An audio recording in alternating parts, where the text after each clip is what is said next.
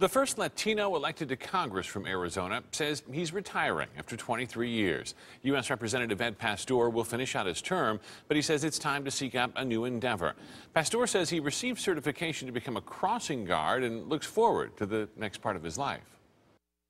This 23 years uh, in Congress uh, have brought me a lot of, lot of memories that uh, uh I'm very proud of and very grateful for. Pastor's decision not to run for re-election is expected to set the stage for a contested Democratic primary in Arizona's 7th congressional district. The heavily Latino district leans Democratic.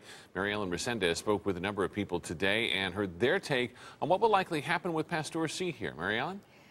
Steve, Congressman Pastor held his seat for 23 years.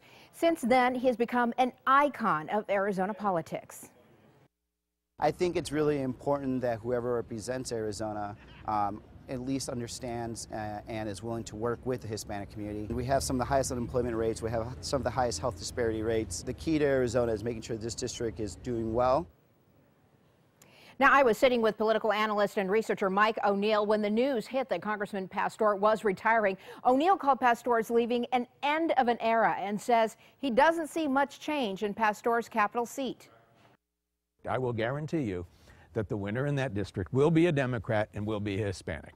I, I, don't see any doubt whatsoever. But there's a lot of people who fit that profile who are looking in the mirror right now and saying, I could be the next, next congressman from Arizona.